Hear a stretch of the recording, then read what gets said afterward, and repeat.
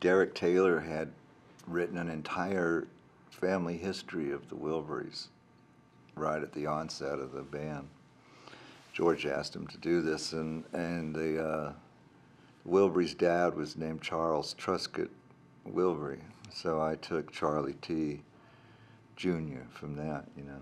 Well, mine was kind of opposite to me. That's what I used it for, because it was just so unlike me, really.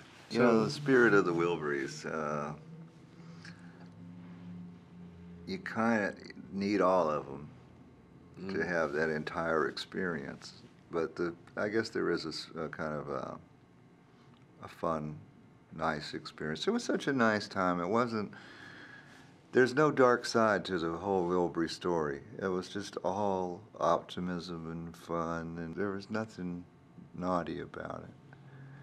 And that that's what makes it so special, I think. It was just such a good period and the music was effortless. You know, we weren't Jeff and I went on for years like making record after record and we, it never seemed like we did any work on them. Yeah, they sort of came together in that era. It's come together really easy, you know. Sometimes on a, on a record, you, you're going to struggle at some point to get it finished, or to get the vocal right, or to get guitars right, or whatever. There's always something, not always, but with the Wilburys, there was never any kind of. It, everything fell into place just real smoothly. yeah, there wasn't much second guessing. We No. just had what we had and, and kept doing another one. Well, I think this the music must have resonated with people, you know, uh, to a pretty good degree.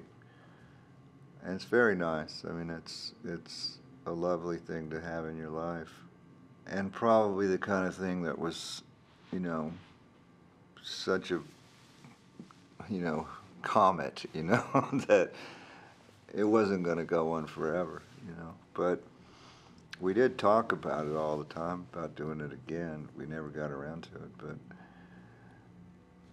I think in George's mind, we were just waiting to do it again. Right, we're done. Okay, doke.